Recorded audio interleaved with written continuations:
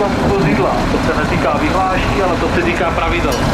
Musíte mít dostatečně kvalitní ochranný rám.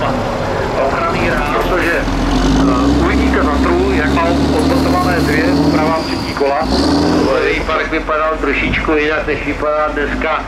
My jsme tady bohužel dostali startovní listinu, kde v kategorii S1 e, sériově vyráběných strojů, to znamená těch kategorií nebo těch skupin je pět, tak té první kategorii dneska už neuvidíte ani jedno jediné vozidlo. V těch prvních letech, podle rozvodu a rozchodu návrhu, tam bylo velké zastoupení těch e, strojů,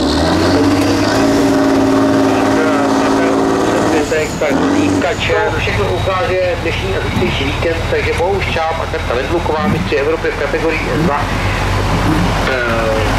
e, vozem Malie.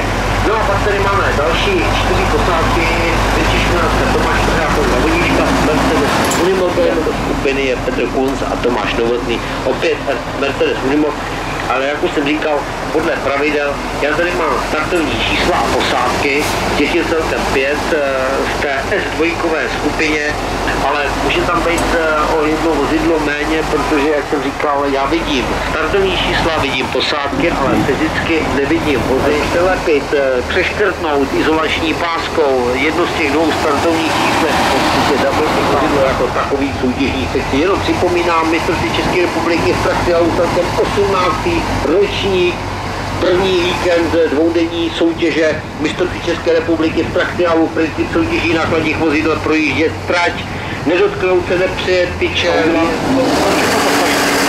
Autová stojí 60